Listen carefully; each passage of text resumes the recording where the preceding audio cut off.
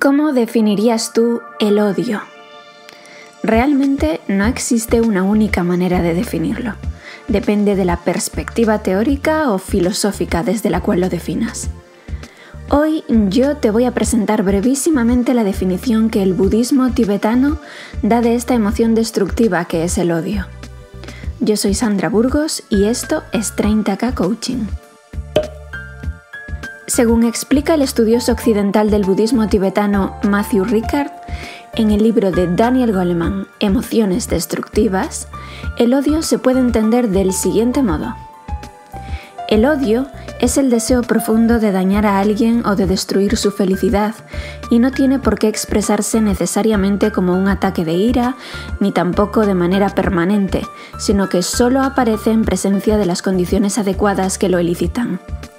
Además, el odio está relacionado con muchas otras emociones, como el resentimiento, la enemistad, el desprecio, la aversión, entre otras. Ante esta definición desde la perspectiva budista de las emociones destructivas, cuéntame, ¿sueles experimentar tu odio hacia alguna persona en particular?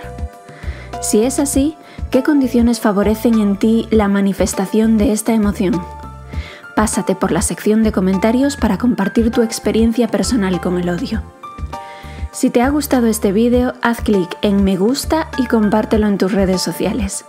Y si quieres recibir más entrenamientos como este cada martes en tu correo electrónico, suscríbete gratis a mi boletín semanal en 30kcoaching.com barra lista.